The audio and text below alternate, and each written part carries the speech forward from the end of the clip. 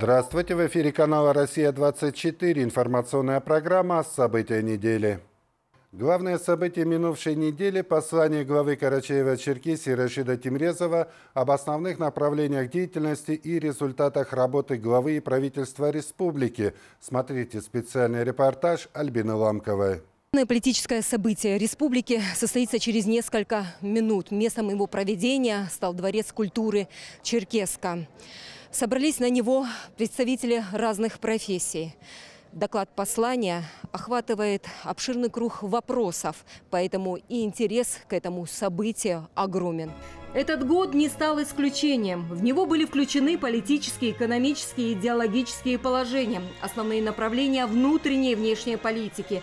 Первое, что озвучил глава Карачаева-Черкесии Рашид Тимрезов, касалось специальной военной операции. О том, какую помощь оказывает республика в этом направлении и на что нужно обратить внимание. Так он поручил правительству региона ввести новые меры поддержки для участников СВО. В частности, создать кадровый резерв для их последующей работы – в органах госвласти. Общество сплотилось, и слово «патриотизм» наполнилось новым смыслом. И мы видим, насколько силен дух патриотизма в нашей республике и в России в целом. Глава Карчаева-Черкесии Рашид Тимрезов обратил внимание, что для поддержки военнослужащих и их семей также будет выплачиваться региональный материнский капитал, начиная с рождения первого ребенка. По возвращении с территории СВО в случае желания открыть свое дело, военнослужащие могут воспользоваться поддержкой в рамках соцконтракта за счет республиканских средств. Кроме этого, для всех участников СВО и членов их семей разработаны и действуют региональные меры поддержки. Уровень жизни региона напрямую зависит от состояния экономики. Прошедший год был не из лучших. Не только для нашей республики, но и для всей нашей страны. С одной стороны, оказали влияние на многие отрасли, потребовали переформатирования устоявшихся экономических связей, но с другой позволили с новой силой использовать собственные возможности для наращивания конкурентоспособного внутреннего регионального продукта. По поручению президента Российской Федерации огромную работу по обеспечению устойчивости экономики и поддержки бизнеса провело правительство Российской Федерации в тесном взаимодействии с полномочным представителем президента Российской Федерации в Северо-Кавказском федеральном округе Юрием Яковлевичем Чайкой. Отдельно хочу поблагодарить вице-премьера правительства Российской Федерации, куратора Северо-Кавказского федерального округа Александра Валентиновича Новака. Благодаря мерам и решениям, принятым на федеральном и региональном уровнях, нам удалось максимально нивелировать негативные последствия экономических санкций, а по многим направлениям показать устойчивый рост, отметил глава региона. По итогам 2022 года индекс промышленного производства вырос. По сравнению с 2020 годом темп роста объема инвестиций в основной капитал, за исключением бюджетных средств, увеличился почти вдвое. Более чем наполовину выросла инвестиционная составляющая регионального бюджета. Завершены 5 инвестпроектов общей стоимостью 22 миллиарда рублей. Меня, конечно, с большим интересом привлекал экономический блок – Естественно, э, на ходу все цифры так не переваришь. И я намерен, например, с карандашом в руках снова посидеть с этим докладом. Определены направления, на которые надо делать упор при формировании бюджета на следующий год. И депутатским корпусом на это будет обращено пристальное внимание. То есть все задачи, которые перед республикой стоят, мы знаем глава их осветил, и я надеюсь, что они все будут в следующем году решены. Общий объем выпуска продукции в области сельского хозяйства тоже вырос. Немаловажным аспектом динамики в отрасли стали меры господдержки на развитие агропромышленного комплекса. Направлены средства на развитие мясного и молочного скотоводства, на производство и реализацию зерновых культур, на закладку интенсивных садов, поддержку фермеров и развитие сельской кооперации. Будем надеяться, что э, все, что он озвучил, будет применимо в нашем регионе, э, что э, наши фермеры наконец-то получат ощутимую поддержку. Проблем сегодня в сельском хозяйстве более чем достаточно. Это и погодные условия, это и экономическая ситуация в стране. Но э, с таким тылом как э, сегодня озвучили, мы будем надеяться только на лучшее. На этот год предусмотрены новые меры поддержки производителям картофеля и других овощей. Важно, что этими мерами смогут воспользоваться наравне сельскохозяйственными предприятиями и самозанятые граждане, отметил глава республики. Был сделан акцент на развитие мясного и молочного скотоводства. Начиная с прошлого года Карачаево-Черкесия уверенно движется к позиции лидера по овцеводству в стране. Группой компании «Домате» реализован масштабный инвестиционный проект по развитию индустриального мясного овцеводства производства. Завершена реконструкция и запуск мясоперерабатывающего завода высокой мощностью переработки. Также компания реализует на территории республики проект по строительству комплекса по откорму овец. Немалую лепту в увеличении производства тепличных овощей в России вносит наше предприятие агрокомбинат «Южный». В этом направлении в республике открываются новые производства. Приоритетом в сельском хозяйстве считается садоводство. Реализовано два крупных проекта по закладки садов интенсивного типа общей площадью 1000 гектаров и проекты по строительству двух плодохранилищ с возможностью длительного единовременного хранения. Главой Карчаева-Черкесии было дано поручение вдвое увеличить объем средств для защиты сельскохозяйственных культур от городобития. Также до 1 августа текущего года правительству республики совместно с главами муниципалитетов представить предложение по решению проблемы с беспризорными собаками на всей территории республики. Было поручение модернизировать республиканскую ветеринарную лабораторию, обеспечить необходимым оборудованием и транспортом. Особое внимание в регионе уделяют туризму. Отрасль активно развивается, есть успехи. Наши курорты пользуются большим спросом. Учитывая динамику и перспективы дальнейшего развития отрасли, привлечен высокий объем инвестиций.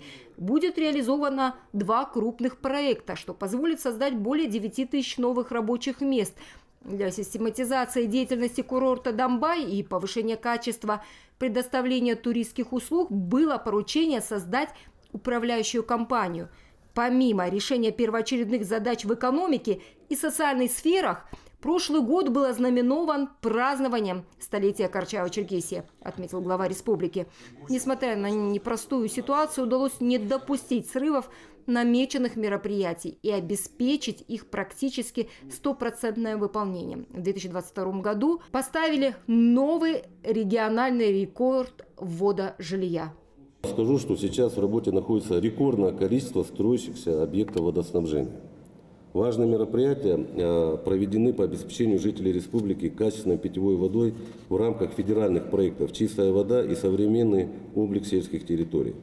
Качественное энергосбережение имеет большое значение в нашей республике. Учитывая, что ежегодно увеличивается количество строящихся объектов, возводится новый микрорайон, развивается туристическая инфраструктура, строятся объекты в промышленном и агропромышленном комплексе, отметил глава региона.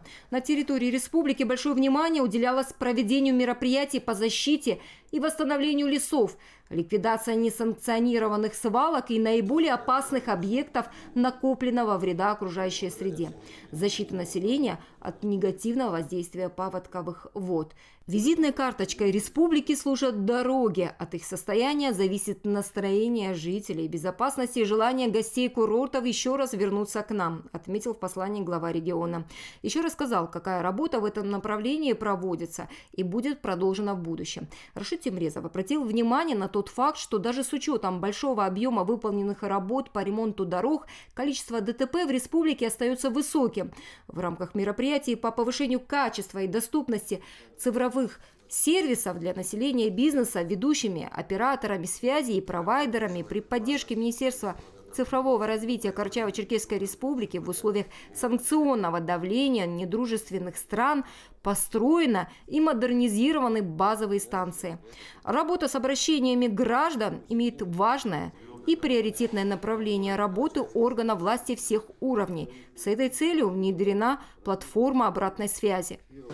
Хочу обратить внимание, что глава республики э, почти в каждой отрасли ссылался на обращение граждан. Это демонстрирует то, какое пристальное внимание он обращает работе с обратной связью. И вообще, в принципе, вся работа органов власти строится вокруг потребностей обычных жителей нашей республики. Большое количество обращений граждан касалось вопросов социальной сферы. Глава Карачаева-Черкесии рассказал о том, что уже сделано и предстоит. Были даны поручения различных мер поддержки. Рождение ребенка всегда отражается на материальном благополучии каждой семьи.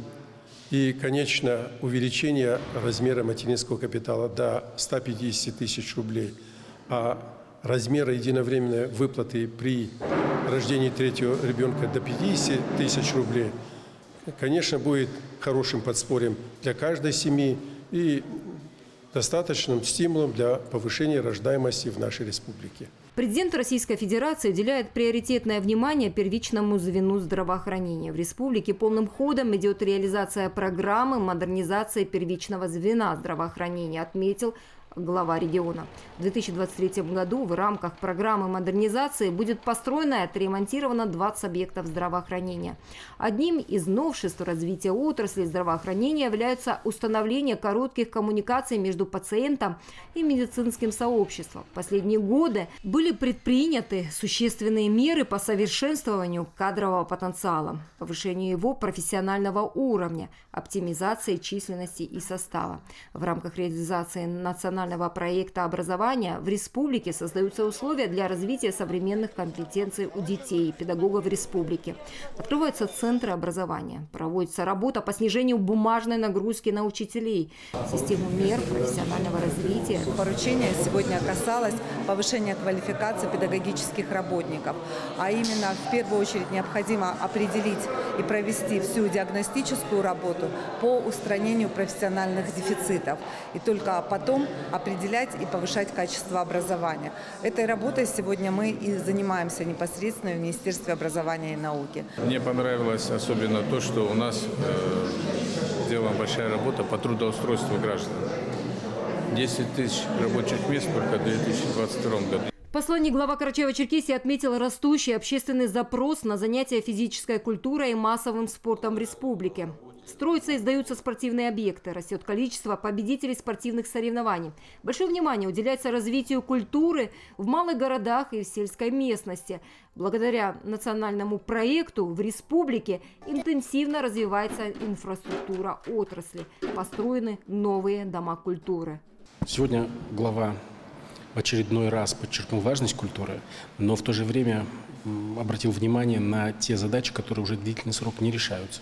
В частности, это наполнение практической ежедневной работой домов культуры, которых у нас на селе за последние годы уже более пяти десятков построено и отремонтировано.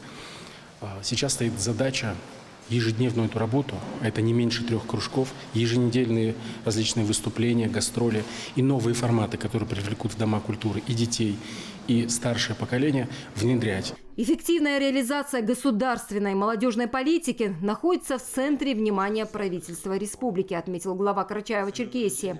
Проведена большая работа по финансовой поддержке в реализации социально значимых инициатив молодежи. Укреплению политической стабильности и согласию в республике способствует сохранение гармоничных межнациональных и межконфессиональных отношений, отметил глава региона. Одним из важных событий в религиозной жизни республики стало открытие главной соборной мечети. Поблагодарил духовенство за большую работу по духовно-нравственному и патриотическому воспитанию молодежи, за взаимодействие с органами власти в вопросах укрепления межнационального и межконфессионального согласия. В заключении детального плана действий, которого будут придерживаться в работе региональные власти и муниципалитеты в течение года, глава республики Рашид Темрезов отметил работу всех, кто активно принимал участие в развитии и повышении социально-экономических показателей в республике и реализации задач, направленных на улучшение качества жизни наших граждан. Поблагодарил за поддержку. Альбина Ламкова, Олег Малхожев, Али Бастанов, Вести Карчаева-Черкесия. В Доме правительства под председательством вице-премьера Ирины Гербековой прошло заседание Республиканской трехсторонней комиссии по регулированию социально-трудовых отношений. Собравшиеся обсудили три главные темы – Первый вопрос касался применения упрощенной налоговой системы как меры поддержки малого и среднего бизнеса. Вторая тема повестки – уровень производственного травматизма при работе в ограниченных и замкнутых пространствах, в том числе на объектах водоснабжения и канализации. И третья тема – ход реализации и оценка эффективности госпрограммы развития культуры в республике. Председатель Карачаево-Черкесского объединения организаций профсоюзов Раиса Айбазова отметила необходимость проведения таких встреч, чтобы работодатели тщательно следили за медицинским осмотром работников предприятий во избежание несчастных случаев на производстве. По итогам заседания трехсторонней комиссии даны соответствующие рекомендации работодателям и профсоюзным организациям. Вопросы, рассмотренные в ходе работы комиссии, взяты на особый контроль. 22 несчастных случая, в 22 уже 24 было. И в том плане, что медицинские осмотры, они необходимы. Ирина Джишавна, 10 несчастных случаев было. Пришел человек на работу. Это говорит о том, что медицинские осмотры не проводятся. Состояние работника давайте внесем в свой протокол. Недопущение типичных нарушений антикоррупционного законодательства должностных лиц органов государственной власти республики и муниципалитетов. Эту тему обозначили на круглом столе в Республиканской прокуратуре. В ходе заседания обсудили методы профилактики правонарушений и преступлений, подвели итоги работы противодействия коррупции. Подробнее Дарья Тендит. В этом году на 30% возросло количество привлеченных как дисциплинарной, так и к административной ответственности, как органов государственной власти, так и муниципалитетов. В части нарушения антикоррупционного законодательства, несоблюдения обязанностей, неисполнения ограничений, отметил старший помощник прокурора республики Радмир Баташев. Вопросы противодействия коррупции систематически обсуждаются. У нас формат совершенно разный, начиная от э, межведомственных рабочих групп по противодействию коррупции, оперативных совещаний, координационных совещаний. И, безусловно, по результатам данных совещаний принимаются дополнительные меры, направленные на эффективную деятельность правоохранительных органов в данной сфере. С информацией о проводимой работе по противодействию коррупции ознакомила начальник отдела по профилактике коррупционных и иных правонарушений управления главы Карачаева Карачаева-Черкесии по вопросам противодействия коррупции Елизавета Дорохина.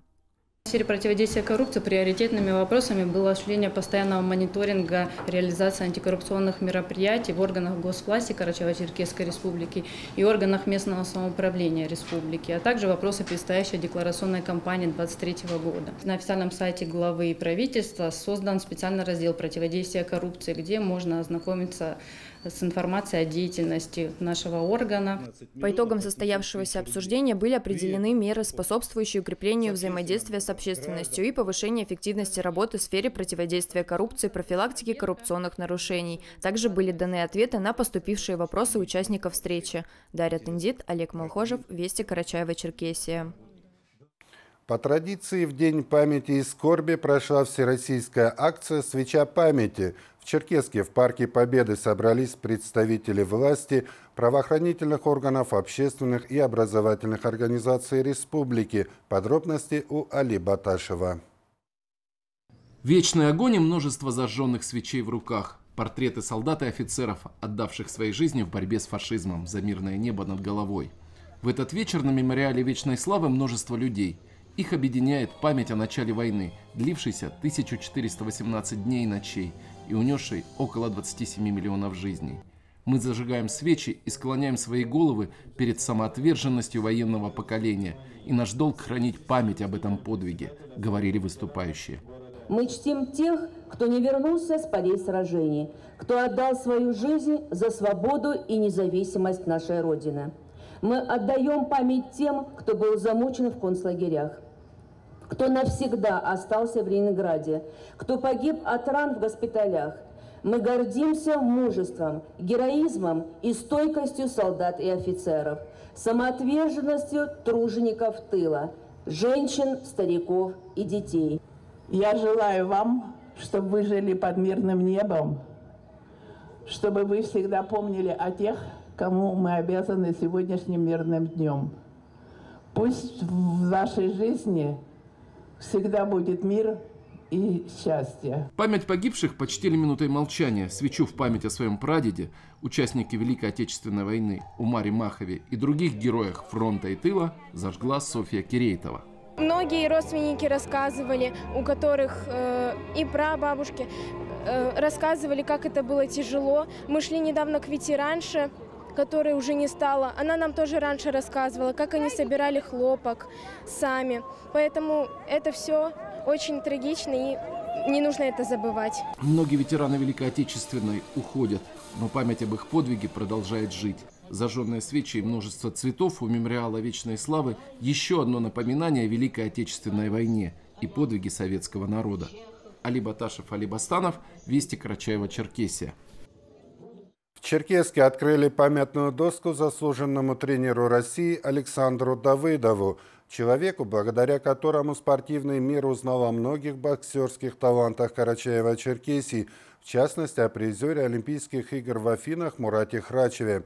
На мероприятии около дома, где жил Александр Степанович, побывал наш корреспондент Артур Мхце. Есть люди, с которыми принято связывать целую эпоху. Таким, без сомнения, можно считать и коренного жителя Черкеска Александра Давыдова, посвятившего себя поиску и огранке драгоценностей, обучению и шлифовке мастерства талантливых ребят, которыми на самом деле богата Карачаево-Черкесия. Для него тренерская работа стала не просто профессией, а возможностью делать из юных сорванцов уверенных в своих силах молодых людей. А фраза «ученик Давыдова» – это своего рода знак качества. Талантливым он был не только э, как э, тренер, как педагог, но и также он был очень талантливый наставник э, по жизни. Вот. Очень многому мы научились в его воспитаннике. Все те, кто прошел через его руки, даже какое-то небольшое время, кто занимался боксом у него, все те, кто прошли через его руки, все мы научились у него очень важным и необходимым качествам. Прошло два с половиной года, как не стало человека, с именем которого были связаны многие успехи боксеров из региональной столицы на самом высоком уровне. Среди его воспитанников победители и призеры крупнейших спортивных форумов. И вот теперь около дома, где он провел большую, разумеется, после тренировок часть жизни, состоялось памятное мероприятие с установками мемориальной доски. О многочисленных заслугах почетного гражданина Черкеска Александра Давыдова говорили все, кто пришел в этот день отдать дань уважения наставнику, другу, а для кого-то и ни много ни мало второму отцу. Али Хуранов вспоминает, каким был тренер на занятиях, чему учил ребят. В нем было все. Разные грани. Он и строгий, он требовательный, учил нас дисциплине. А, где-то добрый, то есть вовремя умел объяснить человеку, что от него надо. То есть, как он нам говорил всегда, интересно. Он говорил, ребята, я могу вам дать все, кроме одного. Сердце должно быть храброе. Мемориальная доска Александру Давыдову была открыта при участии его супруги, которая многие годы поддерживала его и в горе, и в радости. Цветы у дома как живое напоминание о человеке, оставившем после себя куда больше, чем просто спортивные достижения республики и регалии воспитанников. Он помог каждому стать человеком, за которого ему не было бы стыдно. Артур Махце, Али Бастанов, Вести, Карачаево-Черкесия. Он посвятил свою жизнь образованию и воспитанию молодого поколения – ушел из жизни кандидат филологических наук, директор Института филологии КЧГУ имени Умара Алиева Хасан Сулейманович Лепшоков. Он был грамотным руководителем и пользовался большим уважением среди преподавателей вуза и студенческой молодежи. О жизни компетентного и мудрого руководителя Института филологии Алихан Лепшоков. Вся его жизнь была связана с родным университетом. Хасан Лепшоков прошел длинный путь, прежде чем стать руководителем Института филологии КЧГУ. В 1980 году окончил Карачаево-Черкесский педагогический институт по специальности учитель русского языка и литературы. В 1991-м Хасан Сулейманович прошел обучение в аспирантуре при Ленинградском государственном педагогическом институте имени Александра Герцена в Санкт-Петербурге. В 2001 году защитил кандидатскую диссертацию в Нальчике и там же в КБГУ окончил докторантуру. Он сначала был заместителем декана филологического факультета, а после стал и директором Института филологии. Около 40 лет он связан профессионально с нашим университетом. Из них 15 лет руководил одним из самых э, больших э, подразделений нашего университета. Это филологический факультет, сегодня Институт филологии. И э, во всех должностях, которые занимал, ответственных должностях, Хасан Сулейманович всегда показывал высокий уровень профессионализма и профессиональной этики. Как преподавателя его студенты любили, обожали. За время руководства Хасана Сулеймановича Институт филологии стал одним из самых больших многофункциональных структурных подразделений университета. Энергичный инициативный руководитель внес огромный вклад в открытие на базе института новых направлений подготовки кадров. Хасан Лепшоков проводил множество российских и международных форумов и конференций. Строгий к своей работе и справедливый ко всем, именно таким он запомнился коллегам по вузу. И работал он при этом не откладывая в сторону или не оставляя учебно-методическую и научную работу. Он все так же работал и со студентами, читал лекции, и э, административная работа у него, в принципе, получалась, поскольку можно судить, что филологический факультет э, долгие годы находился э, в первых рядах, получал первые места за организацию обучения, за организацию научно-исследовательской работы. Тяжело руководить таким большим коллективом с большим количеством студентов, но каждому из преподавателей, студентов он умел найти подход. Ругал, говорят, ну что ж, администратора обязанность входит и пожурить иногда тех, которые заслуживают этого. Но он всегда шел навстречу студентам. Профессиональный потенциал э, нашего Хасана Сулейменовича, он тоже был очень высокий. Э, он очень четко реагировал на э, все изменения, которые происходили в сфере образования. А, улавливал моменты, когда что-то нужно было поменять для а, более ну, плодотворной, эффективной работы. Он всегда готов был оказывать нам помощь и поддерживал наши идеи, и нам будет его не хватать, отмечают студенты Института филологии. Нам будет очень сильно не хватать Хасана Сулейменовича. Я здесь учусь и работаю в Институте филологии. Каждый раз, подходя с какой-то проблемой к Хасану Сулейменовичу, он всегда искал решение. Он мог и по-отцовски поругать, но одно было точно, никогда никого не давал обиду. И любой студент был уверен в том, что сможет найти в нем поддержку и помощь. Все мероприятия, которые проводил Хасан Сульменович, всегда проходили на высоте, потому что даже к самым незначительным моментам он подходил фундаментально и делал так, чтобы все было достойно и на высоте. Искренность, неиссякаемый оптимизм директора Института филологии Хасана Лепшокова навсегда останутся в памяти благодарных студентов и коллег. Алихан Лепшоков, Аслан Гирюгов, Вести Карачаева-Черкесия, Карачаевск. Такими событиями отмечена уходящая неделя. Всего вам доброго и до встречи.